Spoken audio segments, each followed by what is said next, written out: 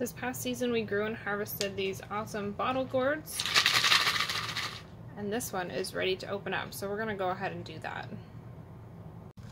I'm gonna be using a hole saw to do this. It's uh, one and one eighth of an inch or 28 millimeters. And I've chosen a spot and here we go.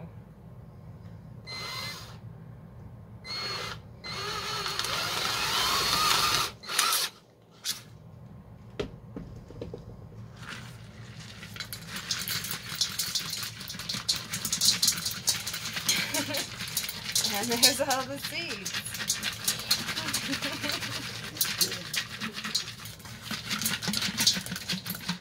Just gonna show you quick what these look like.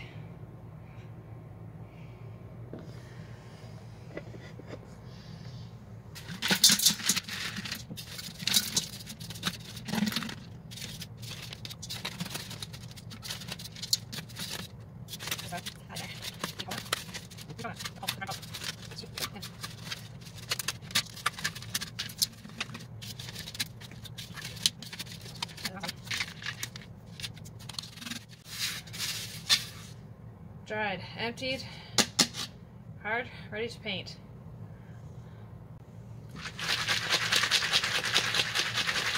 We're gonna do this one too. It sounds good. So one and one eighth of an inch. This is for the size of a chickadee.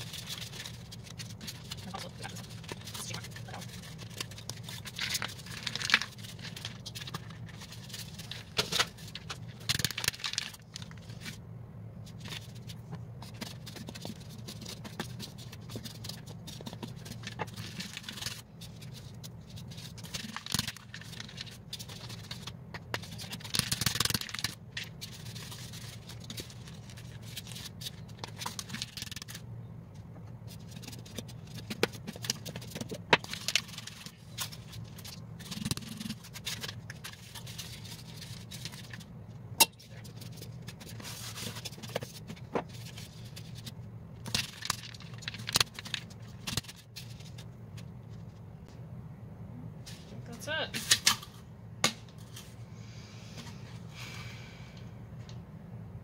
Two birdhouses.